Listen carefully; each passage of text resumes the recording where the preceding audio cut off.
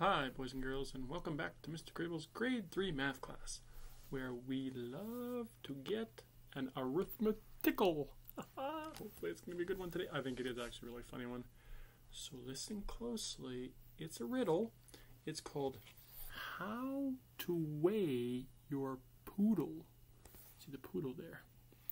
And that's Jill. She's going to weigh herself, so you know, using the scale see how much she weighs, how many pounds or how many kilograms. Here she goes. Ready?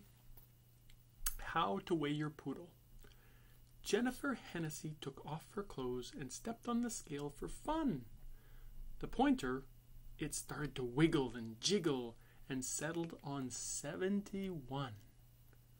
Then Jennifer Hennessy picked up her miniature poodle. Here's Poo Poo Bidoo Together they stood on the scale and weighed a grand total of 92. Well, Poo Poo Pidoo is a bit overgrown. How much does Poo Poo Pidoo weigh alone? There we go. How to weigh your poodle. If you want to weigh your dog, make sure you ask your parents before. Hopefully, you had a good arithmetical. Bye bye. Have a good day.